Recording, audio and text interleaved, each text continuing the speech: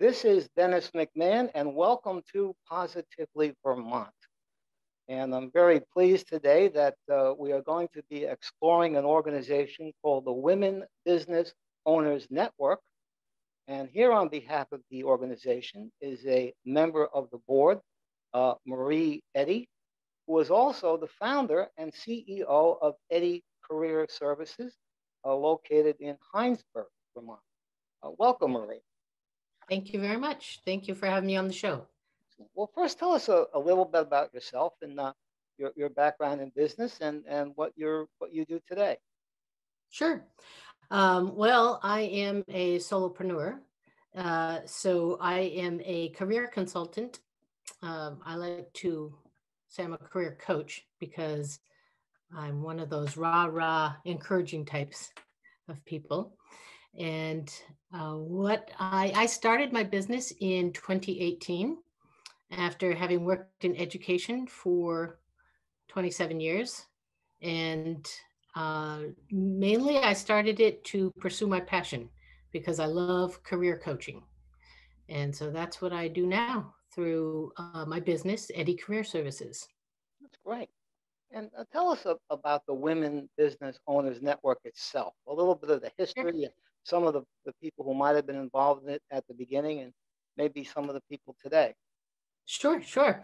Well, Women Business Owners Network started in 1984. Uh, the mission of WBON is to encourage and support women who own and operate businesses to foster economic stability of women owned businesses and to improve the climate for entrepreneurship in the state of Vermont. And it started in 1984 because one of the obstacles that women were experiencing when they uh, started to, well, when they um, wanted to start a business was um, lack of capital you know, a lot of businesses, you need startup monies. And believe it or not, in the 1980s in the early 80s, women could not get loans for their businesses without a husband's signature. So, and that wasn't too long ago. I mean, within our lifetime. Right. So, uh, so women who were frustrated by that aspect of starting their own business got together and said, well, we need to advocate and the best way to advocate is to come together as a group because more, uh, more voices are more powerful. So that was kind of the impetus to start WBON. But really, what WBON has become is a support network for women business owners. Uh, I would say about two thirds of the uh, women business owners in Vermont are solopreneurs and um, solopreneurship can be kind of isolating. So to have the resource of an organization like WBON uh, that has monthly chapter meetings where women come together to network and also to learn from each other. Uh, there's always a speaker each month at the chapter meetings. And then there are two conferences a year through WBON. There's the full day spring conference which is coming up this June 7th. It's going to be virtual this year due to the pandemic. But the spring conference conference is usually focused on professional development with a lot of great speakers and workshops. And then there's a half day fall conference in Vermont, which is statewide, that is more focused on um, networking and uh, just getting together. Because again, there's power in numbers but there's also support. So WBON is like a support network for women business owners. Could you tell us uh, about the, the uh, category of women business owners? Would that also include uh, include uh, professionals who operate as single practitioners, or maybe in partnerships with other people, including men? Yeah. To give you an idea of some of the women who are members, um, okay, so some of the ones who own their own business, so like solopreneurs, uh, some work in body work, like reflexologists, massage therapists. There are some photographers and graphic designers, um, a lot of coaches and consultants like myself. Uh, there are female business owners in finance, like accountants, CPAs, bookkeepers. Uh, there are realtors, artists, virtual assistants, and social media consultants. The social media is critical these days to promoting your business. Um, everyone in business needs to be tech savvy. So we have several women who uh, run businesses helping other people become tech savvy. And, um, but not all of us are uh, solopreneurs. There are several members who who employ other people.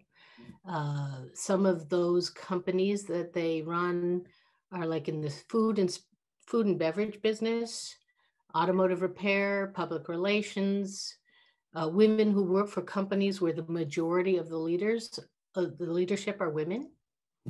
So um, it's a broad range. I mean, we do cover every single. I would say we're we're uh, a pretty wide ranging organization. That's great. Could you give us an idea of maybe what percentage or what sector of the economy uh, in the state of Vermont is owned by women? yeah, good question. Um, it's going to sound small, but it's really big. In Vermont, about seven, a little more than 7% of the businesses are owned by women.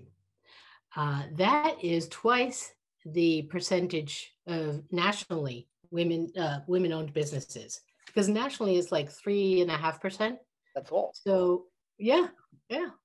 Um, which is again a reason why you need to come together and support each other you know um, so yeah about 7% of the businesses in vermont are owned by women and in terms of, of the term ownership I, I realize i get a little legal when when I, I, I hear that word does that include people who might not be the entire owners or have some equity in a business or people who are in management and not necessarily uh, the main stockholder or owner?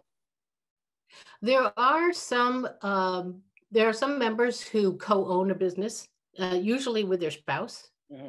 You know, there are there are a lot of husband and wife teams that come together to own a business, and uh, whether or not those are, you know, I, I think they're still called women-owned businesses. Mm-hmm. You know, if your name is on the title. Interesting. And what about professionals? Uh, you know, percentage of maybe doctors, lawyers, accountants, uh, other type, and like yourself, uh, other types of consultants who, who uh, operate on their own, uh, or maybe with a small amount of parts. Uh, what's the demographics of that, if you, if you know?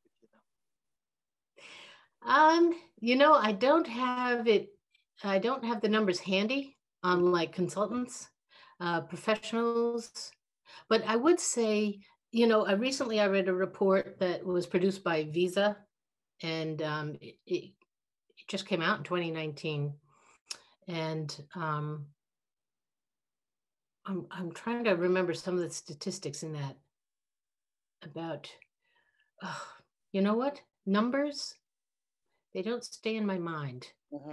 I, I, just always get I, I, just get a little sidetracked with, equity and that's my, my legal thinking. That's one of the, the problems. But uh, getting back to uh, this percentage, I mean, uh, why is Vermont uh, uh, gratefully ahead of the national average with uh, women ownership?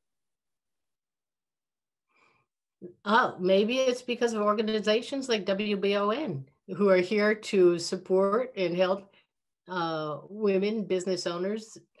Uh, we're invested in the economic viability of women-owned businesses. We we actually, you know, there are a lot of coalitions within Vermont. A lot of uh, organizations. Uh, to give you a for instance, um, during the pandemic, you know, when the PPP loans were uh, distributed, the Public Policy Committee of WBON wanted to ensure that women got an equitable portion of those loans. And they uh, partnered with the Main Street Alliance Vermont and also with Center for Women in Enterprise to not only educate women on the loans and how to get the loans, but actually sat down and helped people fill out the applications and make sure all of the um, paperwork was in order for them to be able to um, obtain some of that money. That's great because half the battle with, with a lot of federal programs is, is having the right paperwork.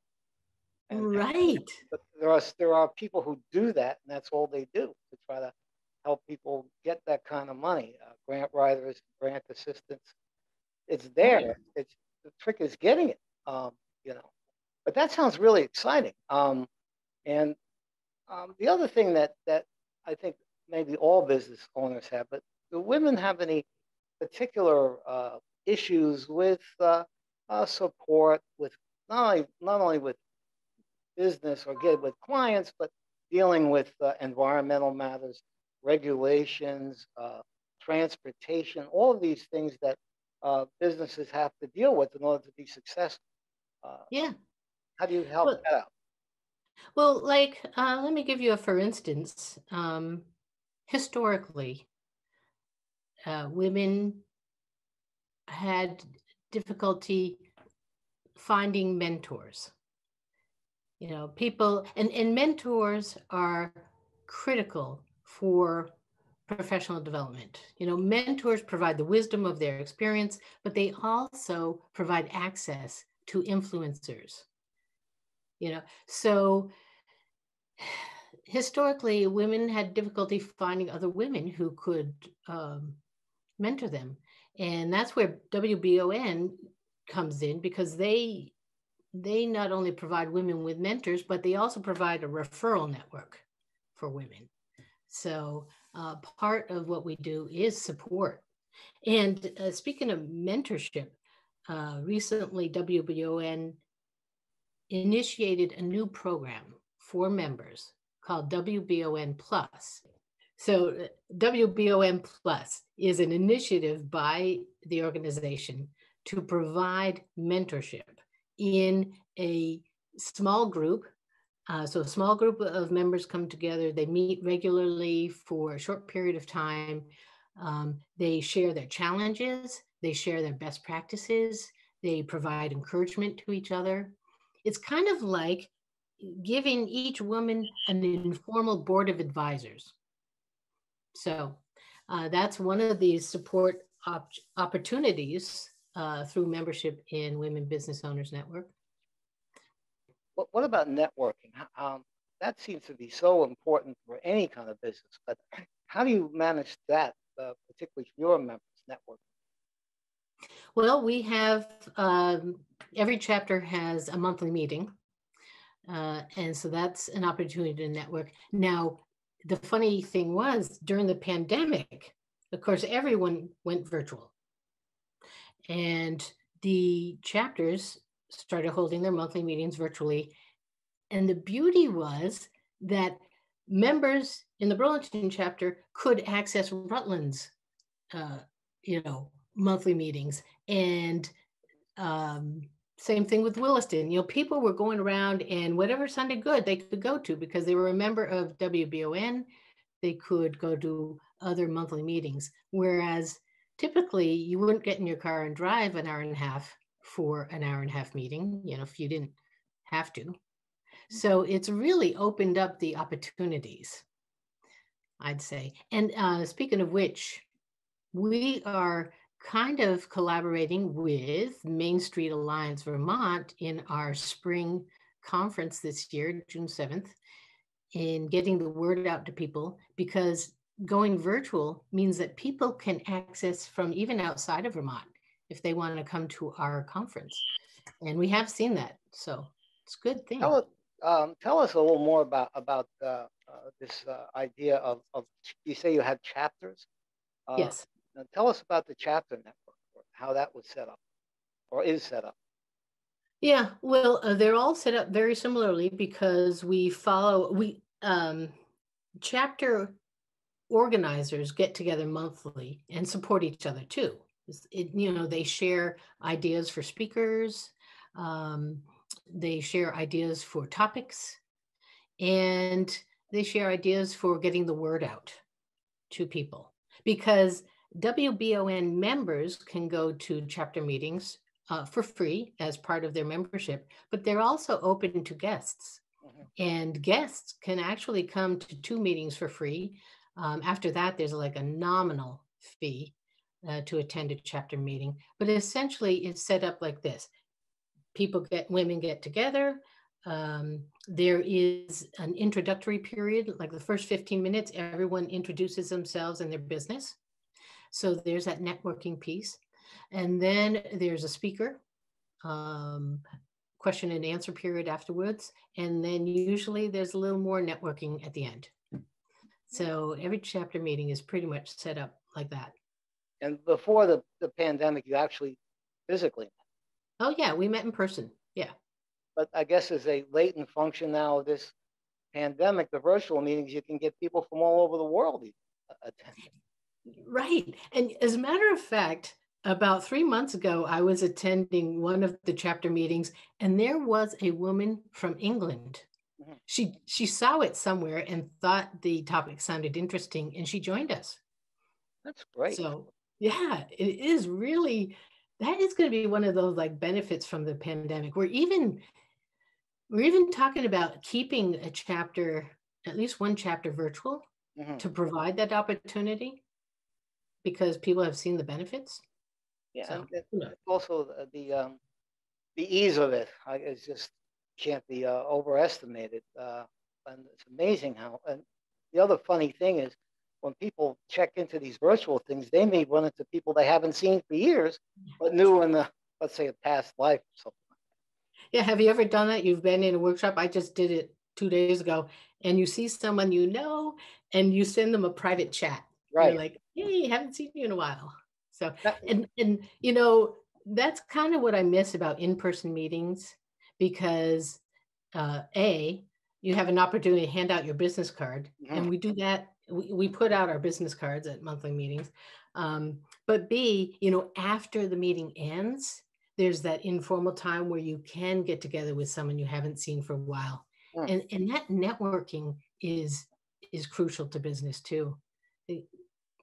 I suppose that's something women business owners lacked uh, up until recent days. You know, the old Chamber of Commerce or Old Boys Network or whatever male groups they used to hang out in. You know, it, again, you hit the nail on the head. There were some obstacles for women in the beginning. Um, and, and let's just take the example of golf the role of golf courses in business opportunities. Um, a lot of people would play golf because a lot of business happened on the golf course and afterwards in the clubhouse. And a lot of golf courses were not open to women members. You know, it might it might have been the wives of members could play on Saturday between what, you know, nine and one or something like that. Uh, um, but now, and even Burlington Country Club, they didn't allow women members until the late 1970s. So um, they had women golfers because my my mom played there, but my father was the member.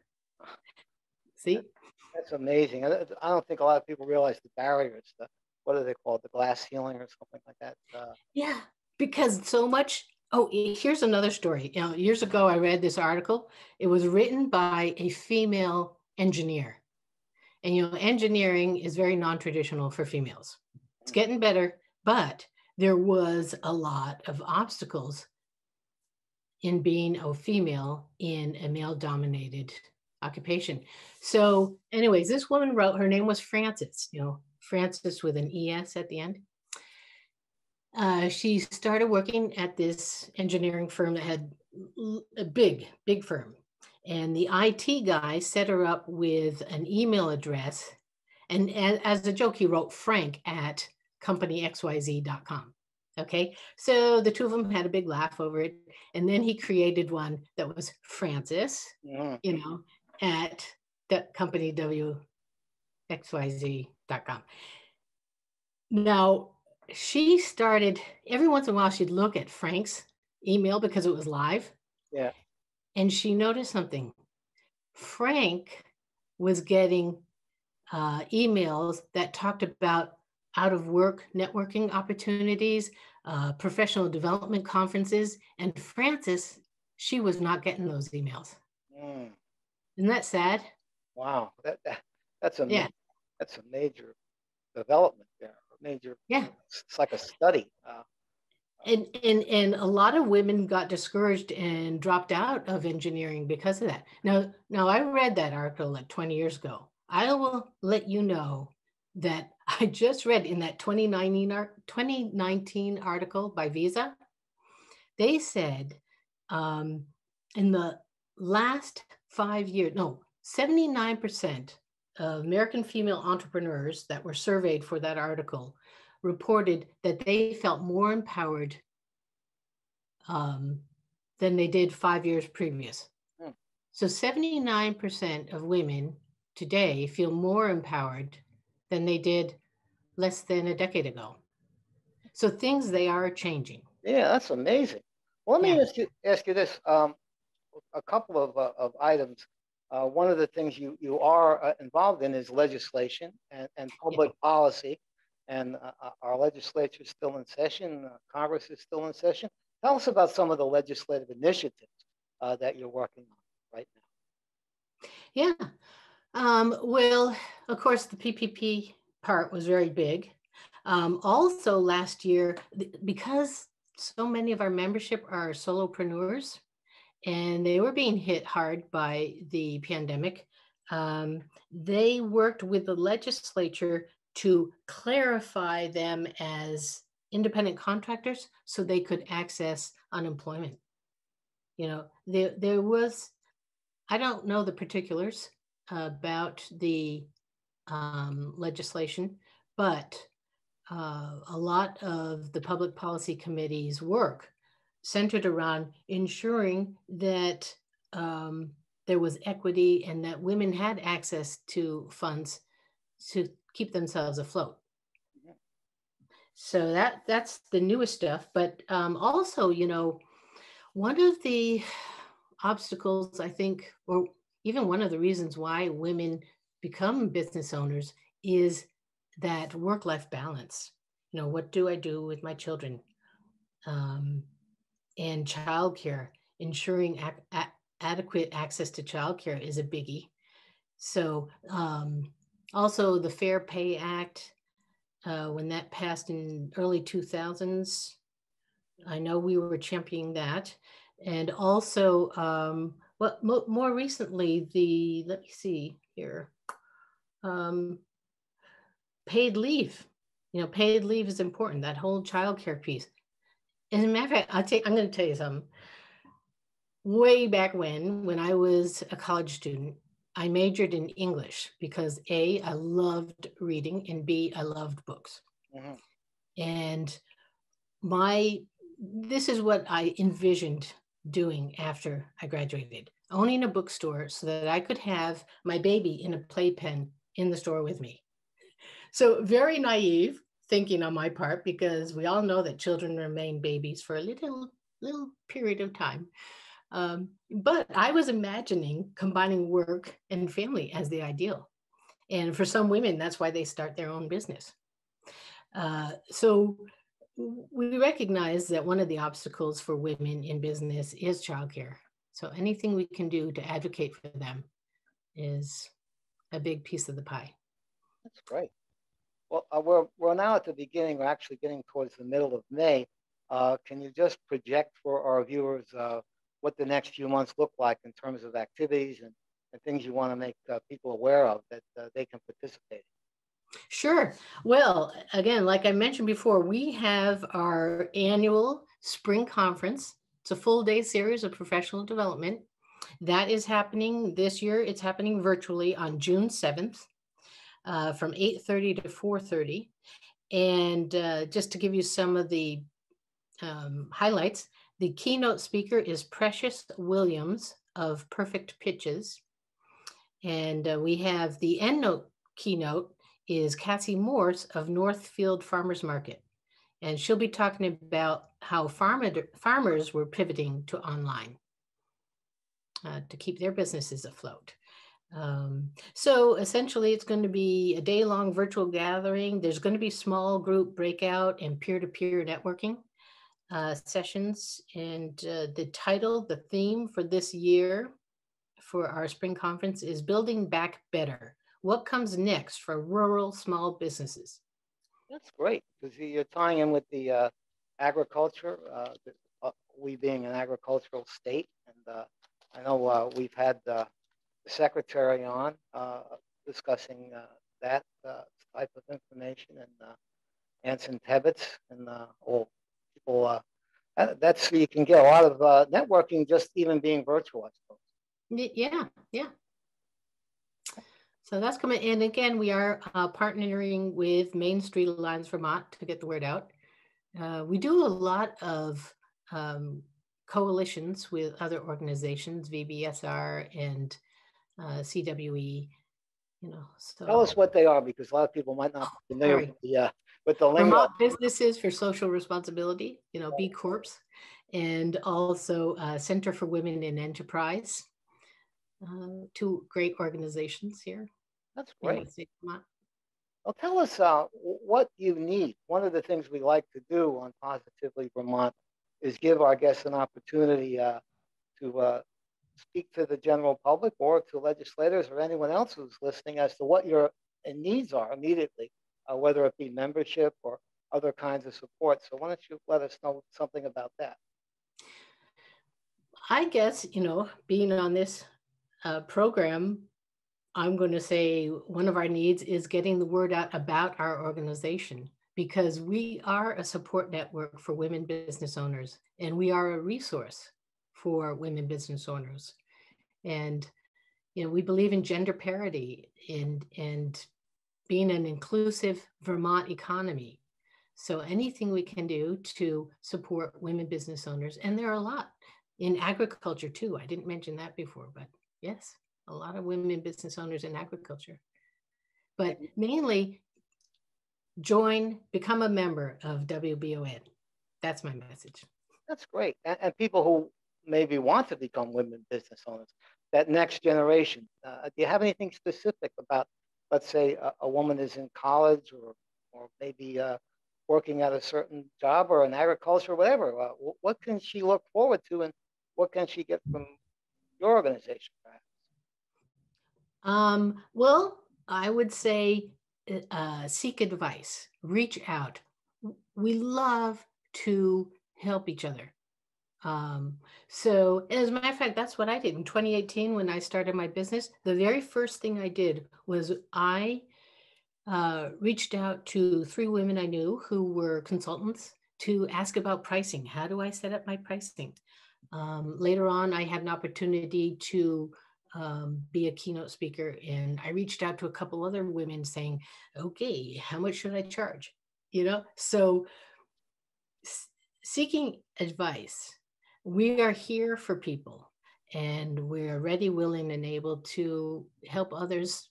I mean, our mission is to ensure that women businesses thrive. That's great. So, That's great. And you have a website. Uh, tell us what else, how people can get in touch with you. Sure. WBON.org.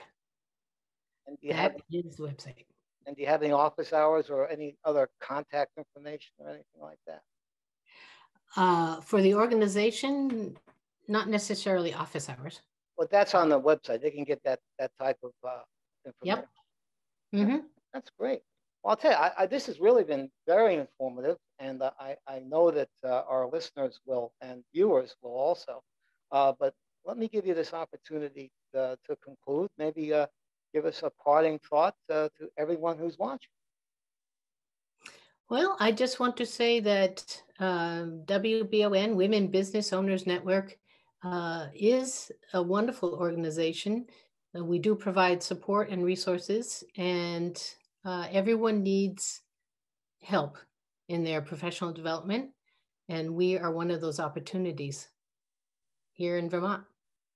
That's great. Well, thank you very much. Uh, my guest today on Positively Vermont has been Marie Eddy, uh, who's the founder and CEO of Eddy Career Services in Hinesburg, uh, and also a member of the board of the Women Business Owners Network. And we're going to provide the information uh, with the website and all of that material. I want to wish you the best of luck and thank you for appearing on Positively Vermont. And thank, Thank you you, all. Thank, thank you all for watching.